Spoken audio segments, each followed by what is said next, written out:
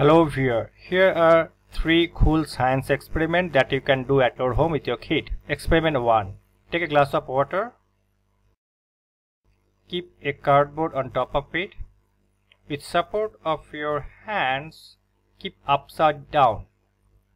Now gradually take your hand out. Wow, see, the water is not falling down. The board is holding the water. There is no tricks, no magic. There is pure science behind it. Take it up again carefully. Now why?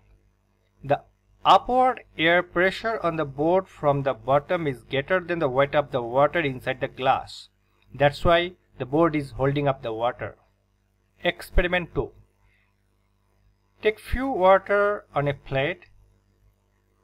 Put a coin into it.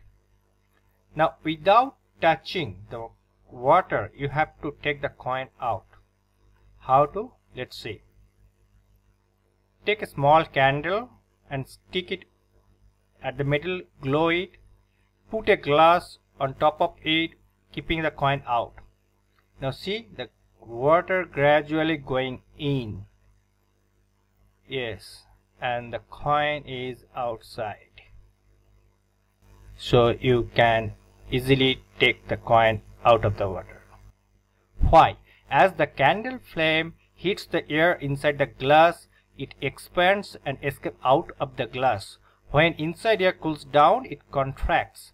Thus create a low pressure zone. Therefore, the high pressure outside the glass pushes the water in. The flame goes out as the oxygen gets exhausted. Experiment 3. Put one egg in a glass of water sinks down. Doesn't depend how much water you have.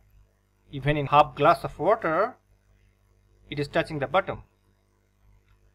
Now, add more water. Wow, it is floating.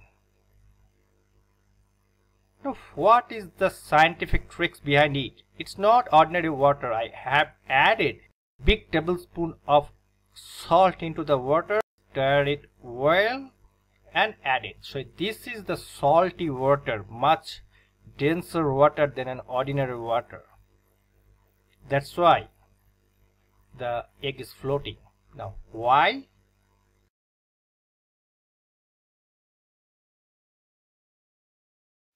Adding salt into the water increases the density of the water, therefore buoyancy also increases to the egg as the buoyancy is proportional to the density of the water. When buoyancy is more than the weight of the egg, it started floating. Hope you enjoyed. Try it yourself